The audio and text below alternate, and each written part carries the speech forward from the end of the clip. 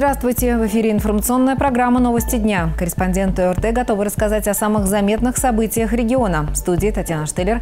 И вначале коротко некоторые темы выпуска.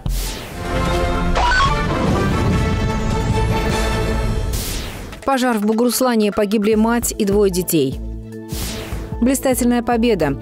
Оренбургская спортсменка Ищеулова стала чемпионкой Европы по параплаванию.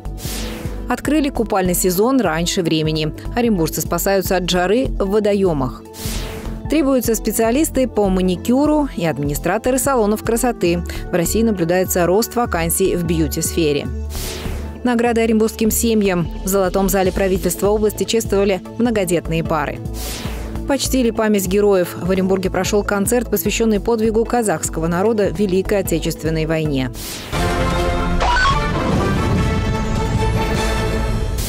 Виктория значит победа. 16-летняя орская плавчиха Виктория Ищулова стала чемпионкой Европы по параплаванию в Португалии.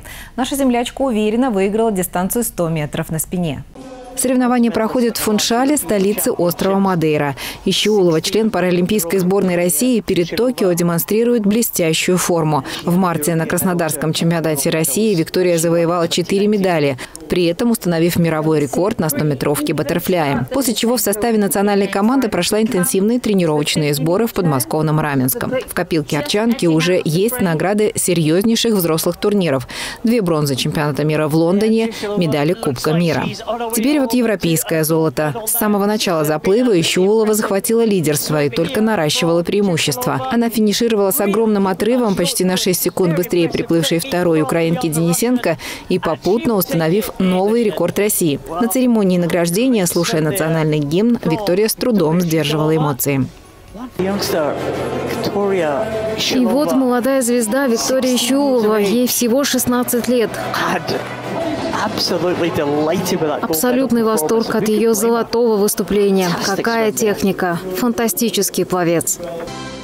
Ищеолова мастер спорта международного класса. Занимается в Орской дюш «Надежда» под руководством заслуженного тренера России Ирины Симаковой. Виктория успешно владеет всеми видами плавания и в Португалии еще поборется за медали. В третий день чемпионата Европы она поплывет 100-метровку баттерфляем. Печальным событиям. Пожар унес жизни трех человек. В Бугруслане сегодня утром загорелся частный дом. На месте происшествия работали сотрудники МЧС и Следственного комитета региона. Информация о возгорании поступила примерно в 8 часов утра. Через два часа огонь удалось полностью ликвидировать. Во время тушения спасатели обнаружили тела троих человек. 39-летней женщины, хозяйки дома и двух ее малолетних детей. На место выехала следственная группа. Им предстоит провести детальный осмотр сгоревшей постройки и установить все обстоятельства произошедшего. Отметим, что на борьбу с огнем было направлено 25 человек личного состава и 10 единиц техники. О причине пожара пока ничего не сообщается. К другим темам. Жаркая погода и комфортная температура воды. Как следствие, оренбуржцы открывают купальный сезон еще до официальной приемки пляжей. Приходят на необследованные водоемы семьями и зачастую забывают, чем это грозит. А между тем, цифры статистики гибели на воде с каждым днем увеличиваются. Подробности у Анастасии Кубатко. Время обеда, пляж на берегу Урала больше похож на курорт. Пока одни только загорают, а другие вовсю пробуют лето на вкус. Точнее, водную гладь на безопасность, ведь погода располагает. Погода такая хорошая, надо использовать лето, поэтому пришли. На свой страх и риск? Да, страх и риск. И таких смельчаков здесь десятки. Официально купальный сезон в регионе еще не стартовал. Тем не менее, освежиться хотят как взрослые, так и дети. Грязный берег не пугает, мутная вода, необследованное дно и отсутствие спасателей тоже не помеха. Большинство опасностей здесь не видят, только отшучиваются. Но все-таки, смотрите, идете, наступили на стекло. Обработаем. Ну вот сейчас только достал стекла от бутылки вон повыложил расколотые. В детстве на этом выросли, босиком бегали. Раны, ссадины и заражения. Пока одни рискуют попасть в больницу, другие из-за желания искупаться расплачиваются жизнью. Количество погибших на водоемах с наступлением жары растет. Только накануне вода унесла жизнь еще одного жителя Оренбургской области. Как итог, две смерти с начала жаркой погоды.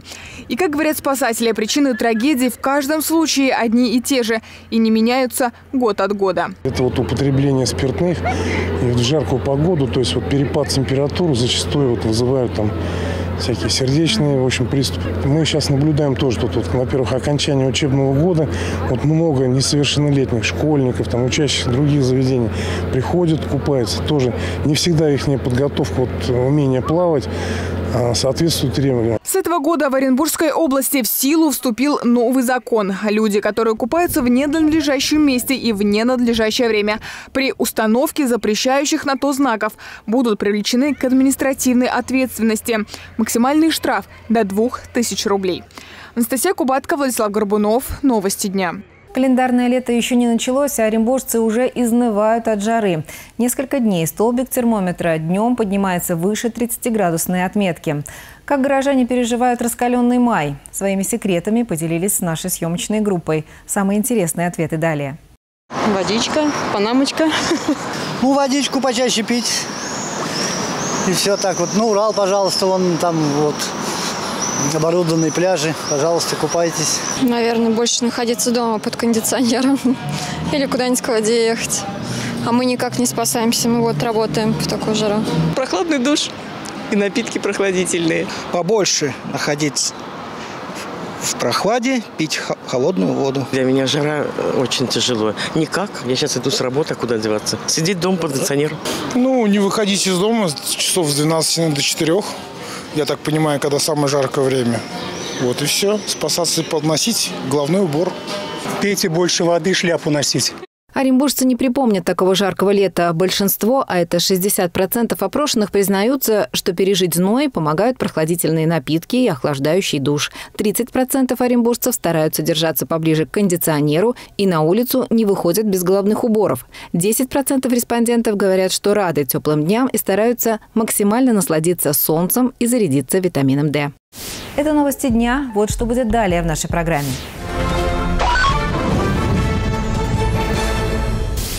Требуются специалисты по маникюру и администраторы салонов красоты. В России наблюдается рост вакансий в бьюти-сфере. Награды оренбургским семьям. В Золотом зале правительства области чествовали многодетные пары. Почтили память героев. В Оренбурге прошел концерт, посвященный подвигу казахского народа в Великой Отечественной войне.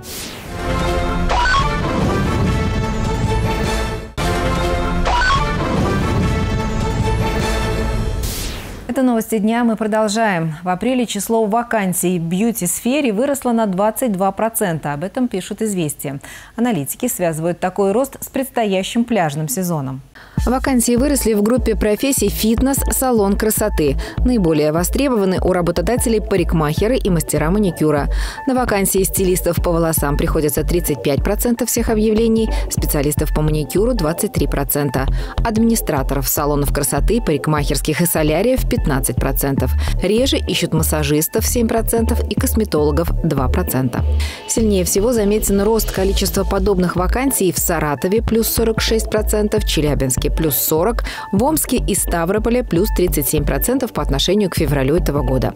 Не сказать, что такая тенденция наблюдается во всех городах России. Так, например, в Томске активность соискателей в бьюти-индустрии за последние два месяца уменьшилась на 33%, а в Сочи она выросла на 42%. По медианным зарплатам в сфере красоты лидируют Москва и Санкт-Петербург. В столице можно заработать в среднем 50 тысяч рублей в месяц, а в Санкт-Петербурге – 45 тысяч, что на 13% больше, чем зимой. Траты горожан в парикмахерских и салонах красоты в марте выросли на 23%, до 4 миллиардов рублей. И сейчас курсу валют, стоимость доллара и евро вновь нестабильна. Данные Центробанка России сейчас на вашем экране. Награды семьям Оренбуржья. Сегодня в Золотом зале правительства прошла торжественная церемония. Победителям всероссийского конкурса «Семья года» и областного «Лучшая многодетная семья» вручают автомобили и сертификаты на приобретение бытовой техники. Заслуженные подарки получают 10 семей.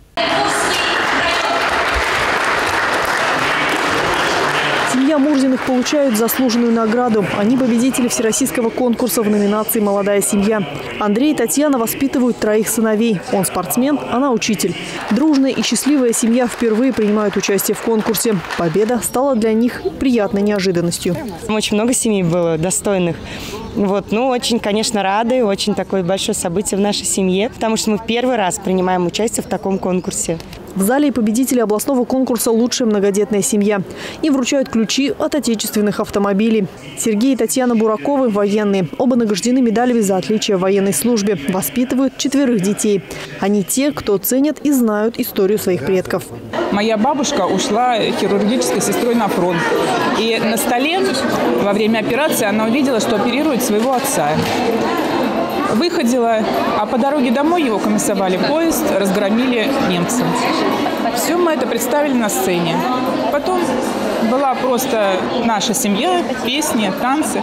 Областной конкурс на лучшую многодетную семью Оренбуржья проводится с 2004 года. За это время в нем приняли участие около двух с половиной тысяч династий. Во всероссийском конкурсе оренбуржцы участвуют уже шесть лет. Каждый год завоевывают победу в одной из номинаций.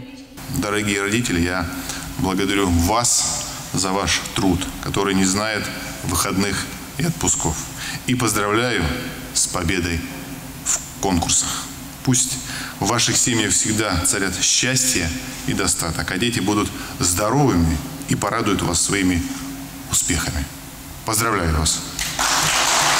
Оренбургскую область на окружном фестивале «Успешная семья Приволжья» в этом году представят Мусаевы из Гайского городского округа. Ольга Энгельс, Игорь Бероев. Новости дня.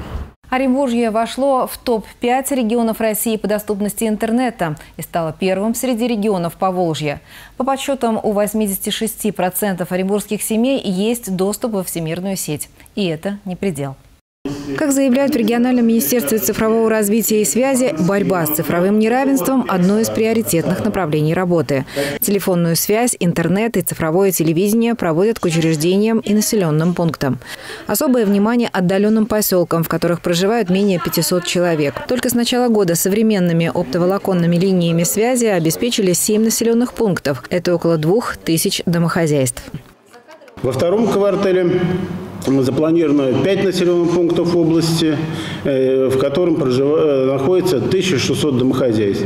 Используют технологии GPON, это современные технологии доведения оптики в каждый дом, в результате которой абонент получает скорость доступа в сети интернет э, до 1 мегабита, а также IP-телефонию э, и IP-ТВ. В малых населенных пунктах по-прежнему большую роль играют почтовые отделения. Их более 900 по всему региону. Сейчас здесь можно не только получить письма и газеты, но и приобрести товары, совершить простые финансовые операции. Продолжают активно использовать таксофоны, с которых можно позвонить на любой российский номер или бесплатно вызвать экстренные службы. Один из самых обсуждаемых вопросов при этом – когда в Оренбурге появится 5G интернет. В Минцифре заявили, что это уже не фантастика, хотя острой необходимости необходимости нет. Технологии 4G, LTE на данный момент более чем удовлетворяют потребности населения.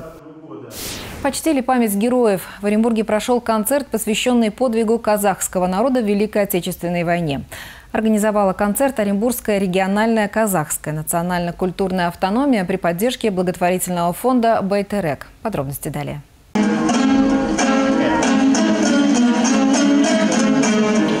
Национальная музыка и известные песни военных лет, а также танцы, театральные сценки, короткометражные фильмы. На сцене ДК «Россия» дети и взрослые, творческие коллективы из Оренбурга и Орска. В зрительном зале специальные гости из Самары, Омска, Казани, Кургана, Новосибирска, Саратова. Руководители отделений Федеральной национально-культурной автономии казахов России. А также оренбуржцы, среди которых много молодежи.